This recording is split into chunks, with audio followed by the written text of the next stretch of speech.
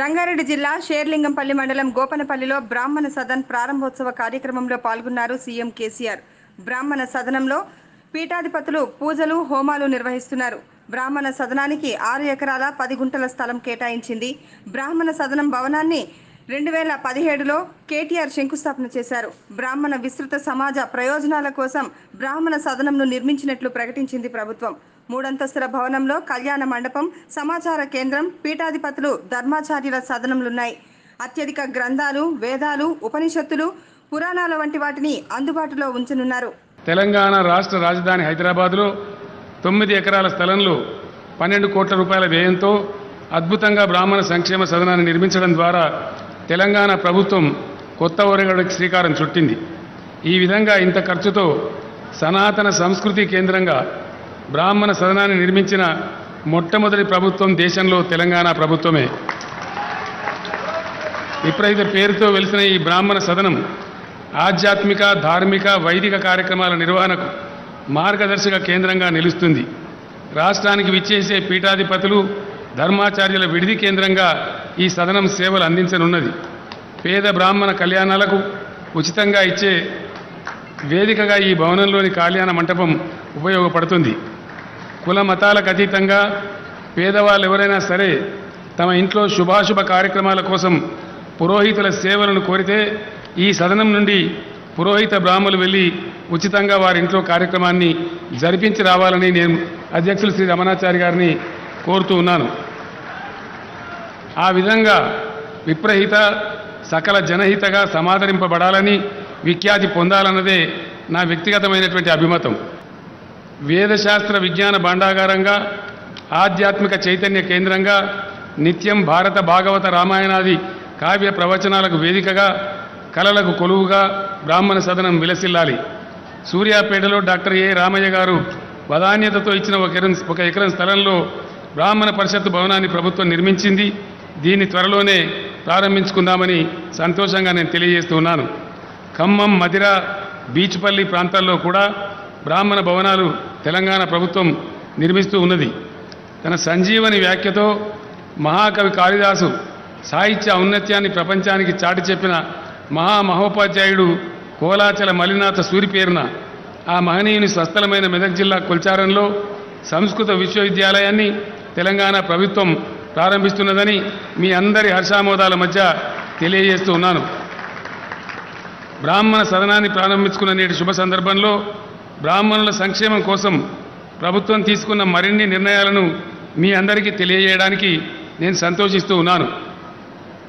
ప్రస్తుతం బ్రాహ్మణ పరిషత్తు ద్వారా వేద శాస్త్ర పండితులకు ప్రతి నెల ఇస్తున్న గౌరవ భృతిని రూపాయలు రెండు వేల ఐదు వందల నుంచి ఐదు వేల రూపాయలకు పెంచుతున్నామని మీ అందరికీ నేను తెలియజేస్తూ ఉన్నాను. ఈ భృతిని పొందే అర్హత వయస్సును డెబ్బై ఐదేళ్ళ నుండి అరవై ఐదేళ్ళకు తగ్గిస్తున్నామని సవినయంగా తెలియజేస్తూ ఉన్నాను. ప్రస్తుతం రాష్ట్రంలోని మూడు వేల ఆరు వందల నలభై ఐదు దేవాలయాలకు ధూపదీప నైవేద్య పథకం వర్తిస్తున్నది. రాష్ట్ర వ్యాప్తంగా మరో రెండు వేల ఏడు వందల తొంభై ఆరు దేవాలయాలకు కూడా ధూపదీప నైవేద్యం పథకాన్ని విస్తరింపజేస్తామని తెలియజేయడానికి సంతోషిస్తూ ఉన్నాను. దీంతో రాష్ట్రంలో ఆరు వేల నాలుగు వందల నలభై ఒక్క దేవాలయాలకు ధూపదీప నైవేద్య పథకం కింద నిర్వహణ వ్యయం అందుతుంది. ఈ సందర్భంగా మరొక శుభవార్త కూడా మీ అందరితో నేను పంచుకుంటూ ఉన్నాను. ఇప్పటి వరకు ధూపదీప నైవేద్యం పథకం కింద దేవాలయాల నిర్వహణ కోసం అర్చకులకు నెలకు ఆరు వేల రూపాయల చొప్పున ప్రభుత్వం అందిస్తున్నది. ఈ మొత్తాన్ని పదివేల రూపాయలకు పెంచుతున్నామని తెలియజేయడానికి నేను చాలా సంతోషిస్తూ ఉన్నాను. ఈ నిర్ణయం మీ అందరినీ కూడా ఎంతో సంతోషపెడుతుందని నేను భావిస్తూ ఉన్నాను. ఫీజు రీఎంబర్స్మెంట్ పథకాన్ని కూడా వర్తింపజేసే నిర్ణయాన్ని తీసుకున్నదని మీ అందరికీ నేను తెలియజేస్తా ఉన్నాను.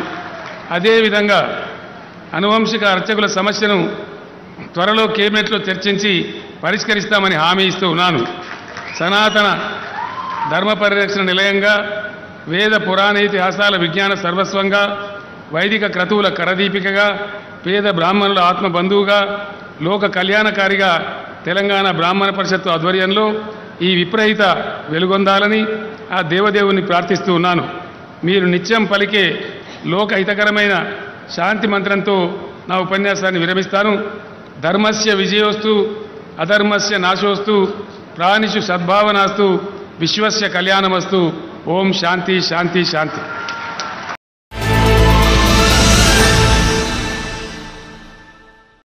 ఎంఐఎం అధినేత ఎంపీ అసదుద్దీన్ వ్యాఖ్యలపై బీజేపీ రాష్ట్ర అధ్యక్షులు బండి సంజయ్ స్పందించారు.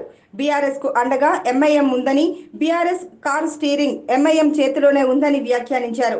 ఎంఐఎం పార్టీకి హైదరాబాద్ మినహా ఎక్కడా పోటీ చేసే దమ్ము లేదన్నారు. రాష్ట్రంలో ఏ పార్టీ అధికారంలో ఉంటే ఆ పార్టీకి ఎంఐఎం కొమ్ము కాస్తుందని ఆరోపించారు. ముస్లింలను ఓటు బ్యాంకుగా మార్చి వారి జీవితాలను ఎంఐఎం పార్టీ నాశనం చేస్తోందని ఆరోపించారు. బీఆర్ఎస్ పార్టీని గెలిపించాలని ఎంఐఎం కాంగ్రెస్ పార్టీని పెద్దగా చేయాలని బీఆర్ఎస్ ప్రయత్నిస్తున్నాయని చెప్పారు. రాష్ట్రంలో బీజేపీని ఓడించేందుకు మూడు పార్టీలు ఒక్కటవుతున్నాయని ఆరోపించారు. ఎంఐఎం పార్టీ కంట్రోల్ ఉన్న విషయం దీని ద్వారా స్పష్టమవుతున్నది.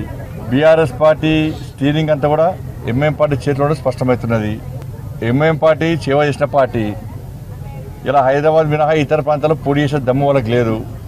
అధికారంలో ఏ పార్టీ ఉంటే ఆ పార్టీ కొమ్ము కాసేటువంటి పార్టీ. పైసలు చంపే పార్టీ ముస్లింలు ఓటు బ్యాంక్గా మార్చి ముస్లింల బతుకులు నాశనం చేసిన పార్టీ ఎంఐ పార్టీ. వాళ్ళ ఏడుపు వాళ్ళు వాళ్ళే బీఆర్ఎస్ పార్టీని గెలిపించాలని చెప్పి ఎంఐ పార్టీ చూస్తున్నది. కాంగ్రెస్ పార్టీని పెంచి పోషించాలని చెప్పి బీఆర్ఎస్ పార్టీ చూస్తున్నది. వీళ్ళందరి లక్ష్యం ఏంది? భారతీయ జనతా పార్టీని తెలంగాణ రాష్ట్రంలో అధికారం రాకుండా అడ్డుకునే ప్రయత్నంలో వీళ్ళందరూ ఒక్కడవుతున్నారు మేము మొదటి నుంచి చెప్తున్నాం మళ్ళీ చెప్తున్నాం. ఎంఐ పార్టీకి దమ్ముంటే తెలంగాణ రాష్ట్రంలో పోటీ ఏమని చెప్పండి? పాత బస్తీని ఎందుకు ఎంఏం పార్టీ అభివృద్ధి చేయలేకపోయింది? కాంగ్రెస్ పార్టీ అధికారంప్పుడు ఎంఏం పార్టీ పోయి కాంగ్రెస్ పార్టీ మోచెత్తి నీళ్ళు తాగింది. టీడీపీ అధికారంప్పుడు టీడీపీ దగ్గర కాలు బ- వేసుకోవడం వస్తున్నది టీడీపీ నాయకులది. టీఆర్ఎస్ పార్టీతో కలిసి పనిచేస్తున్నది. ఇన్ని చేసింది ఎంఏం పార్టీ ఏం చేసింది ఓల్డ్ సిటీ కోసం ఏం పని చేయలే. కుటుంబం యొక్క ఆస్తిపాస్తులు సంపాదించుకోవడము ఆస్తులను కాపాడుకోవడము వ్యాపారాలు చేయడం. ఓల్డ్ సిటీలో ఇంతవరకు ఒక్క కంపెనీ ఎందుకు రాలే? ఓల్డ్ సిటీలో అభివృద్ధి ఎందుకు జరుగుతలేదు ఓల్డ్ సిటీలో యువకులు పాస్పోర్ట్లు ఎందుకు వస్తలేవు ఓల్డ్ సిటీలో యువతకు ఎందుకు ఉద్యోగాలు వస్తలేవు? ఓల్డ్ సిటీ న్యూ సిటీ ఎందుకు కాలేకపోయింది? ఓల్డ్ సిటీలో ముస్లిం బతుకులు ఎందుకు నాశనం చేశారు? దాని మీద ఎంఎం పార్టీ నాయకులు ఫస్ట్ సమాధానం చెప్పాలి.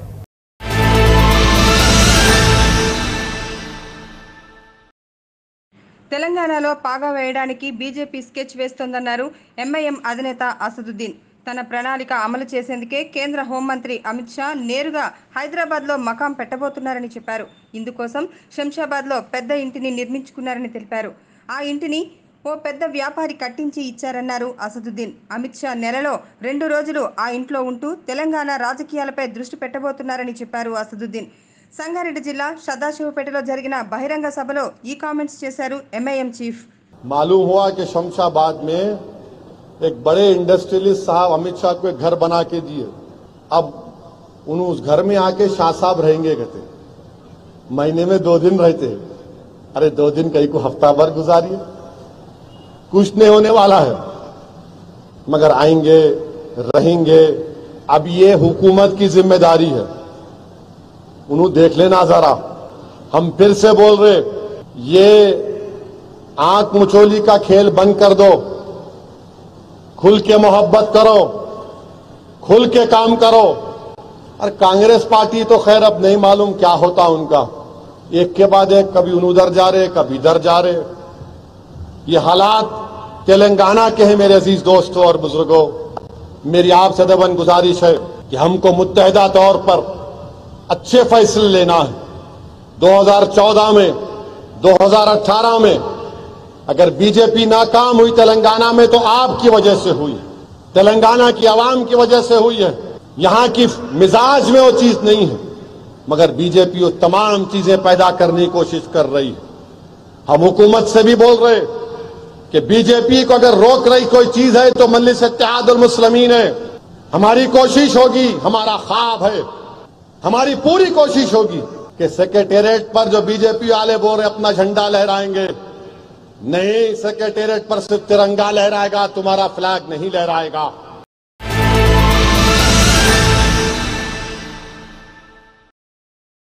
దళిత బంధు స్కీమ్లను ఎమ్మెల్యేల పరిధి నుంచి తీసివేయాలన్నారు రాజ్యసభ ఎంపీ ఆర్ కృష్ణయ్య. హైదరాబాద్లో తెలంగాణ రాష్ట్ర ఎస్సీ ఉపకులాల ఐక్యవేదిక ఆధ్వర్యంలో దళిత బంధు కొరకు ఎస్సీ ముప్పై ఏడు ఉపకులాల లొల్లి అనే అంశంపై ధర్నా చేపట్టారు. ఈ ధర్నాలో ఆర్ కృష్ణయ్య పాల్గొని వారికి మద్దతు తెలిపారు. ఎస్సీ ఉపకులాలకు పూర్తిగా మద్దతు తెలుపుతున్నామని తెలిపారాయన దళిత బంధులో ఎమ్మెల్యేలు కమిషన్ తీసుకుంటున్నారని ఆరోపించారు. దళిత బంధు పథకాన్ని దళితులతో పాటు ఉపకులాల వారికి కూడా ఇవ్వాలని ఆర్ కృష్ణయ్య డిమాండ్ చేశారు. రాష్ట్ర ప్రభుత్వం మెడలు వంచి దళిత బంధు తీసుకోవాలని ధ్వజమెత్తారు ఆర్ కృష్ణయ్య. దేశవ్యాప్తంగా కూడా ఇతర రాష్ట్రాల్లో ఉత్తరాది రాష్ట్రాల్లో దక్షిణాది రాష్ట్రాల్లో పర్యటించి పటిష్టమైన బీసీ ఉద్యమం నిర్మించి జూలైలో పెద్ద ఎత్తున వేలాది మందితో పార్లమెంటును ముట్టడించాలని చెప్పి నిర్ణయించడం జరిగింది. డెబ్బై ఐదేళ్ళు అయితే కూడా ఈ దేశంలో యాభై ఆరు శాతం జనాభా కలిగినటువంటి బీసీలకు ఇంకా అన్యాయం చేయడానికినే చూస్తున్నారు. ఈ దేశంలో ఉన్న డెబ్బై ఐదు కోట్ల మంది బీసీల విద్య ఉద్యోగ ఆర్థిక రాజకీయ అభివృద్ధికి మీ విధానాలు ఏంటి? ఒక జనాలే జనాభా లెక్కలు తీయడానికి ముందుకు రావడం లేదు. అగ్రకులాల కాగమేఘాల మీద పది శాతం రిజర్వేషన్లు పెట్టారు. బీసీ రిజర్వేషన్లు పెంచమంటే ఇన్ని రోజులు యాభై శాతం సీలింగ్ అని ఆపేశారు ఇప్పుడు మేము డిమాండ్ చేస్తున్నాం. పార్లమెంటులో బీసీ బిల్లు పెట్టి చట్ట సభలో రిజర్వేషన్లు పెట్టే వరకు కూడా ఈ దేశంలో ఎవరిని కూడా వదిలిపెట్టాం. విద్యా ఉద్యోగాలలో రిజర్వేషన్లను కూడా ఇరవై ఏడు శాతం నుంచి యాభై శాతంకి పెంచే వరకు బీసీలు ఎవరు కూడా నిద్రపోరని చెప్పి హెచ్చరిస్తున్నాం. బీసీలు దేశ సంపద సృష్టిస్తున్నారు కష్టపడి ఎక్కడుంది వాటని అడుగుతున్నా. కేంద్ర రాష్ట్ర ప్రభుత్వాలు లక్షల కోట్ల అప్పులు చేశారు.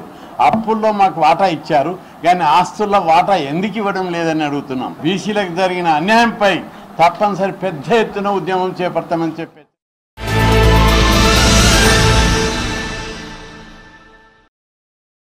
టీడీపీ అధినేత చంద్రబాబుపై మంత్రి ఆర్కే రోజా ఫుల్ ఫైర్ అయ్యారు. చంద్రబాబు రైతులను ఎలా మోసం చేశారో అందరికీ తెలుసని యువతను చంద్రబాబు ఆదుకుంటాననడం పెద్ద జోక్ అంటూ ఎద్దేవా చేశారు. గతంలో చంద్రబాబు చేసిన మోసాన్ని యువత మర్చిపోలేదని గుర్తు చేశారు. పది రూపాయలు కూడా ఎందుకు ఖర్చు పెట్టలేదు అని ఈ సందర్భంగా నేను అడుగుతున్నాను. డ్వాక్రా అక్క పద్నాలుగు వేల ఆరు వందల కోట్లు రుణమాఫీ చేస్తానని చెప్పి వాళ్ళని ఎందుకు అప్పుల ఊబిలోకి తోసావని అడుగుతున్నా? ఎందుకు చేయూత లాంటి కార్యక్రమాన్ని ఆ రోజు చేయలేకపోయావని నేను అడుగుతున్నా? ఈరోజు జగన్మోహన్ రెడ్డి గారు మహిళలకి మహిళా పక్షపాత ముఖ్యమంత్రిగా ప్రతి ఒక్క సంక్షేమ పథకాన్ని వారి పేరు మీద ఇవ్వటమే కాకుండా వారి పేరు మీద ఇళ్ళ ఇచ్చి ఇళ్ళు ఇచ్చి వాళ్ళకి గౌరవాన్ని కల్పించి వాళ్ళ బిడ్డ చదువు కానీ ఇంట్లో వాళ్ళ ఆరోగ్య విషయం కానీ కూడా తల్లి మనసుతో ఆలోచిస్తూ తండ్రి లాగా బాధ్యతను తీసుకొని రాష్ట్రంలో ఉన్న ప్రతి కుటుంబానికి సేవ చేస్తున్న ఏకైక ముఖ్యమంత్రి జగన్మోహన్ రెడ్డి గారు. అలాంటివి కాదని పద్నాలుగు సంవత్సరాలు ముఖ్యమంత్రిగా ఉన్నప్పుడు నువ్వు చేయనివి ఇప్పుడు ఏదో పది వందలు ఎవ్రీ మంత్ ఇస్తానంటే నమ్మే పరిస్థితి మహిళల్లో లేదు అని కూడా ఈ సందర్భంగా తెలియజేసుకుంటున్నా. ఈరోజు ఈ రాష్ట్రంలో ఒక మహిళా మంత్రిగా మహిళల కోసం జగన్మోహన్ రెడ్డి గారు చేస్తున్న సంక్షేమాన్ని చూసి మహిళలందరి తరఫు సెల్యూట్ చేస్తున్నాను. ఈరోజు మహిళలకి భవిష్యత్తు భద్రత ఏ విధంగా జగన్మోహన్ రెడ్డి గారు కల్పిస్తున్నారో అనేక వేదికల మీద మహిళల ఆటం మీరే కళ్ళారా చూశారు చెవులారా విన్నారు. ఇక చాలా కామెడీ విషయం ఏంటంటే యువతను ఆదుకుంటాడంట.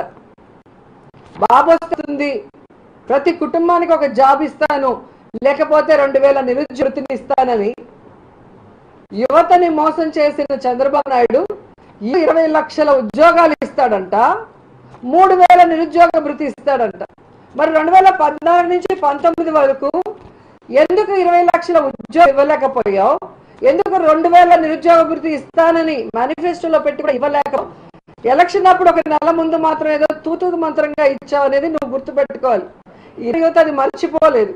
కానీ జగన్మోహన్ రెడ్డి గారు వచ్చిన తర్వాత సచివాలయస్థను తీసుకొచ్చి ఈరోజు లక్ష ముప్పై వేల మందికి ఆ సచివాలయం ద్వారా శాశ్వత ఉద్యోగాలు ఇవ్వడమే కాకుండా రెండు లక్షల అరవై మందికి వాలంటీర్ ఉద్యోగాలు ఇవ్వటమే కాకుండా డాక్టర్స్ పోలీసులు ఇలా అనేక ఉద్యోగాలు కలిపి దాదాపుగా ఆరు లక్షల ఉద్యోగుల్ని యువతకి అందించిన వ్యక్తి జగన్మోహన్ రెడ్డి గారు అన్న విషయాన్ని యువత గమనిస్తుంది కాబట్టి నీ మాటలు ఎవ్వరూ కూడా బురుడి కొట్టేది లేదు అని కూడా ఈ సందర్భంగా తెలియజేసుకుంటున్నా.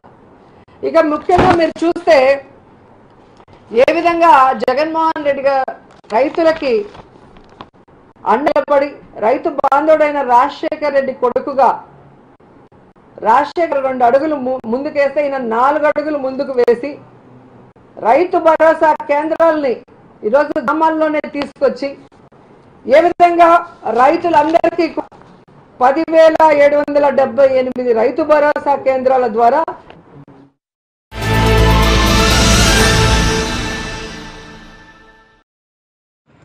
ఈడీ తమ పార్టీ నాయకులపై కక్షపూరితంగా వ్యవహరిస్తుందన్నారు మాజీ ఎంపీ కాంగ్రెస్ సీనియర్ నేత అంజన్ కుమార్ యాదవ్. సోనియా కుటుంబం కోసం ఏ త్యాగానికైనా సిద్ధమేనని చెప్పారు. కోట్ల రూపాయలు ఎగ్గొట్టిన వారిని వదిలేసి బడుగు బలహీన వర్గాలను ఈడీ టార్గెట్ చేసిందని విమర్శించారు. నేషనల్ హెరాల్డ్ కేసులో ఢిల్లీలో ఈడీ విచారణకు హాజరయ్యారు అంజన్ కుమార్ యాదవ్. రెండు గంటల సేపు ఈడీ అధికారులు ఆయనను ప్రశ్నించారు. యంగ్ ఇండియన్ సంస్థకు విరాళంగా ఇచ్చిన ఇరవై లక్షలు ఎక్కడ నుంచి వచ్చాయని ఈడీ అధికారులు ప్రశ్నించారు. మాకు అది ఇచ్చింది. దానికి కూడా మేము చూపించినాము. వాళ్ళు రిటర్న్ ఐటీ రిటర్న్స్ ఇంకేవో ఇరవై లక్షలు ఎట్లు వచ్చినాయి. అవన్నీ అన్నిటికీ కూడా మేము జవాబు ఇవ్వడం జరిగింది. ఏడికేనా వచ్చినాయి ఎట్లు వచ్చినాయి అంటే ఇరవై లక్షలు పది సంవత్సరాలు ఎం ఎంపీ చేసిన. నాకు పింఛనే వస్తుంది. దానికి ఇప్పుడు నాకు ఇది విలువడం మూడోసారి. ఎంత టార్చర్ అంటే ఇది ఏంది? లక్షల రూపాయలు ఎగగొట్టి దేశాన్ని ఇచ్చి పారిపోతారు పట్టుకోరు కానీ ఇరవై లక్షలు ఇచ్చినామని చెప్పి బాధాప్త సర్టి చూపించి అకౌంట్లు చూపిస్తుంటే కూడా ఈ యొక్క కేవలం కష్ట సాధింపులో భాగంగా ఇది. మా ప్రియతమ నాయకురాలు సోనియా గాంధీ గారు అదేవిధంగా రాహుల్ గాంధీ గారు వారిని పిలిచి గంటలు గంటలు రోజులకు రోజులు వాళ్ళు చేశారు మాకు ఇప్పుడు నాలుగోసారి మూడోసారి పిలిచి మాతో ఇట్లనే చేస్తా ఉన్నారు. మేము ఏమవుతుందని మేము మాకు ఒక ప్రశ్న ఇది. ఏంటంటే చూ ఎవిడెన్స్ చూపిస్తున్నాం అది చూపించినా ఎట్లా వచ్చినాయి అది అమ్మినట్టు ఎట్లకే మీరు ఏడుకెళ్ళి తెచ్చినావు అవన్నీ. అన్నిటికి కూడా మళ్ళీ మాకు రాసిచ్చి రివ్యూ కావాలంటే అవి కూడా తెచ్చిస్తామని చెప్పి అది బీజేపీ ప్రభుత్వం ఎవరిని అడగది. మేము అన్ని చూపించినా కూడా మా మీద తెలంగాణ ఇచ్చిన సోనియా గాంధీ ఆమె గురించి మేము ఆమె ఆపదలు ఆ పార్టీ ఆపదలు ఉంటే ప్రాణాలైన ఏరికే తయారున్నాం దేశం తెలంగాణ రాష్ట్రం ఇచ్చింది ఈరోజు ఎంతోమంది విద్యార్థులు ఉద్యోగాలకు చచ్చిపోతున్న తెలంగాణ ఇస్తే అక్కడ ఇక్కడ సంవత్సరానికి రెండు కోట్ల ఉద్యోగాలు ఇస్తున్నాడు మోదీ. అక్కడ ఇంటింటికి ఉద్యోగాలు ఇస్తున్నాడు కేసీఆర్. తెలంగాణ ఇచ్చింది ఎందుకేనా? ఇదేమైనా కానీ ఈ రోజు మా మీద తెలంగాణ గురించి పోరాడిన వారి మీద కూడా కష్ట సాధింపులు చేసుకుంటూ సోనియా గాంధీ గారి గురించి వారికి ఈ ఆపద వచ్చింది యంగ్ ఇండియాకు. మాలాంటి వారు ఇంకా ఐదు పది మంది మన రాష్ట్రం నుంచి వాళ్ళు కూడా హెల్ప్ చేయడం జరిగింది.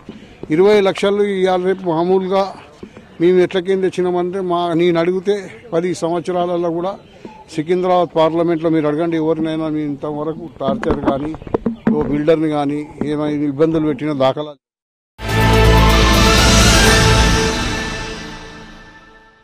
మెదక్ జిల్లా చేగుంటలో సర్పంచ్ మంచికట్ల శ్రీనివాస్ ఆధ్వర్యంలో నేడు గ్రామ సభ నిర్వహించారు. చేగుంట గ్రామంలోని యువకులు చేగుంటలో బ్యాడ్మింటన్ ఇండోర్ స్టేడియం నిర్మించాలని పార్కును నిర్మించాలని సర్పంచ్కు వినతిపత్రం సమర్పించారు. ఈ సందర్భంగా గ్రామంలోని సమస్యల పరిష్కారంపై సర్పంచ్ మరియు పాలకవర్గ సభ్యులు గ్రామస్తులతో చర్చించారు.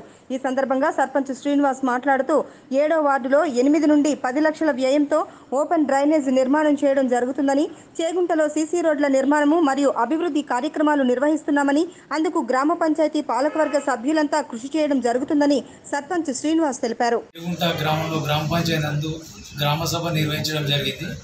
ఈ గ్రామ సభలో గౌరవ వార్డు మెంబర్లు గౌరవ ఉప సర్పంచ్ ఈఓ మరియు గ్రామ ప్రజలు మరియు గ్రామ సిబ్బంది అందరూ పాల్గొనడం జరిగింది. ఆశా వర్కర్లు అంగన్వాడీ టీచర్లు అందరూ పాల్గొనడం ఎక్కడైతే ఏ సమస్యలు వాటి వివరణ కోరడం జరిగింది. ఏ డిపార్ట్మెంట్ వాళ్ళు ఆ డిపార్ట్మెంట్ నుంచి వివరణ ఇవ్వడం జరిగింది. అదేవిధంగా మన చెవుంట గ్రామ పంచాయతీ నందు ఇంతకుముందు నాలుగు నుంచి ఐదు కోట్ల నిధులు గ్రామ నిధులను పెట్టి అన్ని మన చెవుంట అన్ని పద్నాలుగు వార్డులలో సైడ్ డ్రైనేజీ మరియు సీసీ రోడ్లు ఎంఎక్స్ లైట్లు అన్ని నిర్వహించడం జరిగింది. ఈరోజు చేగుంటలో గ్రామ సభ నిర్వహించడం జరిగింది. మంచికట్ల శ్రీనివాస్ గారు సర్పంచ్ గారి ఆధ్వర్యంలో చేగుంట యువత అందరం కలిసి సింగారపుకుంట ఏదైతే ఇప్పుడు స్థలాన్ని చదువు చేశారో దాంట్లో పబ్లిక్ పార్క్ ఏర్పాటు చేయమని విజ్ఞప్తి చేయడం జరిగింది. చేగుంటలో ఎంతో మంది ప్లేయర్లు ఆటగాళ్ళు ఉన్నప్పటికీ సరైన వసతి లేక సదుపాయాలు లేక ఎంతోమంది ఆటగాళ్ళు నేషనల్ లెవెల్లో ఇంటర్నేషనల్ లెవెల్లో రాణించలేకపోతున్నారు. కావున ప్రభుత్వం చొరవ చేసుకొని ఎంపీ ఫండ్స్ను నిధులు కేటాయించి చేగుంటకు ఇండోర్ బ్యాడ్మింటన్ స్టేడియం సమకూర్చాలని మీ అందరి ముందు విజ్ఞప్తి చేస్తున్నాం. ఇప్పుడు ఈరోజు వినతి పత్రం ఇచ్చారు. సెవెన్ ఇందాక సర్పంచ్ గారి గ్రామ సభ ఆధ్వర్యంలో బ్యాడ్మింటన్ స్టేడియం నిమిత్తం వినతి పత్రం ఇవ్వడం జరిగింది.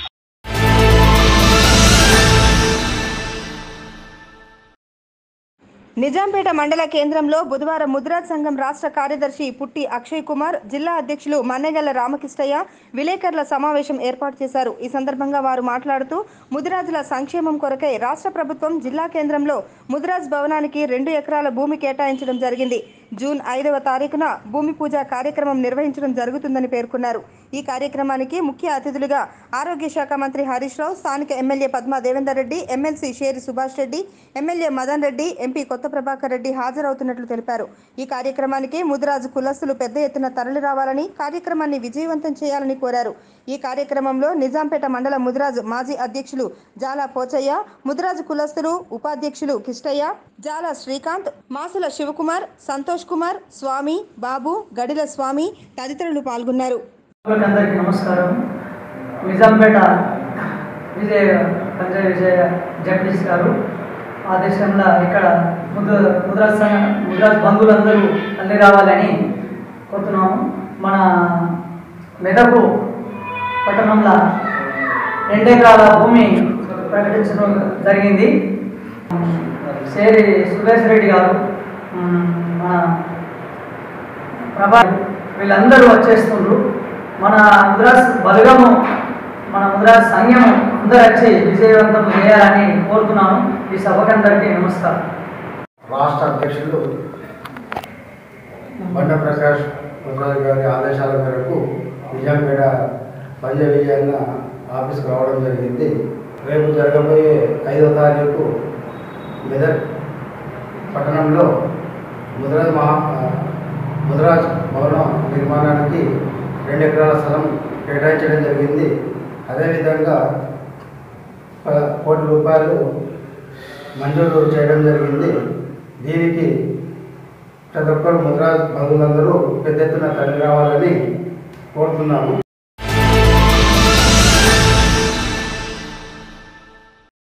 మెదక్ జిల్లాలో రైతులు రోడ్డెక్కారు. ధాన్యం కొనుగోలు కేంద్రాల వద్ద ఉన్న తమ ధాన్యాన్ని కొనుగోలు చేయాలని కొనుగోలు చేసిన ధాన్యాన్ని లారీలో మిల్లులకు తరలించాలని రైతులు ప్రగతి ధర్మారంలో గజ్వెల్ రామాయంపేట రోడ్డుపై రాస్తారోకో ధర్నా నిర్వహించారు.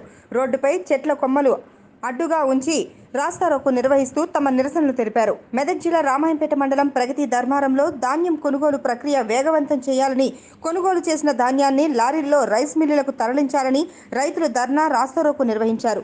ఈ సందర్భంగా రైతులు మాట్లాడుతూ ప్రగతి ధర్మారంలో ధాన్యం కొనుగోలు ప్రక్రియ నత్తనడకన నడుస్తుందని ఈ ప్రక్రియను వేగవంతం చేయాలని అదేవిధంగా వర్షాలు వచ్చే అవకాశం ఉన్నందున కొనుగోలు చేసిన ధాన్యాన్ని వెంటనే లారీలలో మిల్లులకు తరలించాలని రైతులు డిమాండ్ చేశారు. రైతుల రాస్తారోకోతో గజ్వెల్ రామాయంపేట రోడ్డుపై ట్రాఫిక్ స్తంభించింది. ఐకేపీ స్టార్ట్ అయ్యి రోని వచ్చినా కూడా ఇంకా కొన్ని లక్షల టన్నుల వడ్లు అక్కడనే ఉన్నాయి. దాన్ని ఐకేపీ సెంటర్ను మనం మొదలు ప్రారంభించి నాటి నుంచి నేటి వరకు ఒక చైర్మన్ గారు కానీ ఒక ఉప చైర్మన్ గారు కానీ ఎవరు కానీ ఇంతవరకు అక్కడికి ఎమ్మెల్యే గారు కానీ ఇంతవరకు అక్కడికి వచ్చి మరి వడ్లు వడ్లు కొంటున్నారా తీసుకుంటున్నారా? మరి రైతుల పరిస్థితి ఏంది? ఇంతవరకు అడిగిన నాదుడు ఎవరూ లేరు. ఇప్పుడు కొనాలని తక్షణమే కొనాలని మేము యొక్క ధర్నా ఈ యొక్క ధర్నా ప్రోగ్రాం రైతులతో మేము అందరము దీన్ని కొనసాగిస్తున్నాము. జై జవాన్! జై నెల రోజులు అవుతుంది. నెల రోజుల నుంచి గన్ని బ్యాగులు ఉంటే లారీలు లేవు అంటారు లారీలు వస్తే గన్ని బ్యాగులు ఉంటలేవు. నెల రోజులు అవుతుంది రైతులు మొత్తం ఇక్కడనే పడిగాపులు కాసుకుంటా అన్నం తెచ్చుకుంటా ఈయనే తింటుడు పరిస్థితి ఏంది? ఈ ప్రగతి ధర్మారంలో ఎక్కడ లేనటువంటి ప్రగతి ధర్మారంలో నత్త నరకన సాగుతుంది ఈ కేంద్రం అయితే. ఎవ్వరు కూడా పట్టించుకునే నాదుడే లేడు. కరువయ్యండు. జై జవాన్!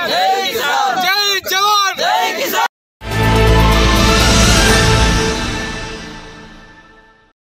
నిజాంపేట మండల కేంద్రంలోని మండల ప్రజా పరిషత్ కార్యాలయంలో ముప్పై మూడు సంవత్సరాలుగా ఆఫీస్ సబార్డినేట్ సేవలను అందించిన బాలమల్లయ్య బుధవారం పదవీ విరమణ పొందారు.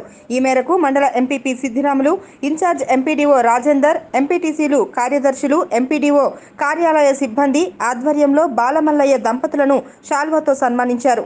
ఈ సందర్భంగా వారు మాట్లాడుతూ ముప్పై మూడు సంవత్సరాలుగా మండల ప్రజా పరిషత్ కార్యాలయంలో సబార్డినేటర్గా బాలమల్లయ్య సేవలను అందిస్తూ అందరితో కలిసిమెలిసి ఉండేవాడని ఆయన సేవలు మర్చిపోలేమన్నారు.